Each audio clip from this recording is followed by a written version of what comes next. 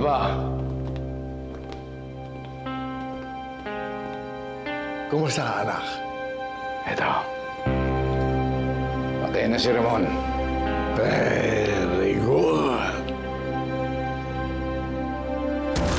Sa araw na ito, masasaksihan ng buong mundo ang pagkamatay ni Ramon Montenegro. Meron akong naisip kung paano mabura ang iyong pagkatao. Kumagalala. Tatapusin na natin ang pagtatagong ito. Magtungo ka sa isang lugar na sasabihin ko sa iyo. At doon, mangyayari ang planong sinasabi ko. Sir, positive. Andito yung sasakyan ni Montenegro sa Carlos Palanca.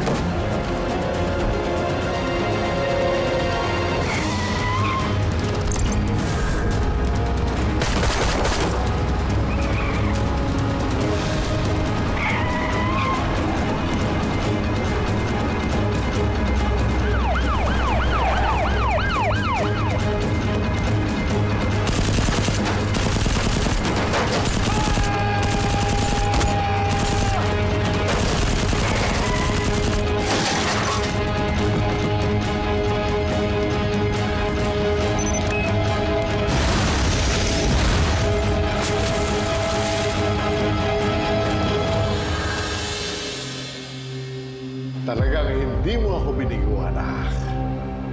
Sige na. Mahiya ka na. Ako nang bahala dito. Sige, Papa.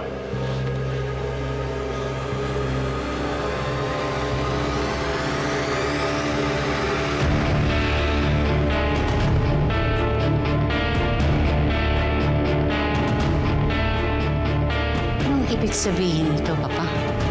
Ang ibig sabihin noon, ihanda mo na ang lamay. Ikaw na ang bahala doon.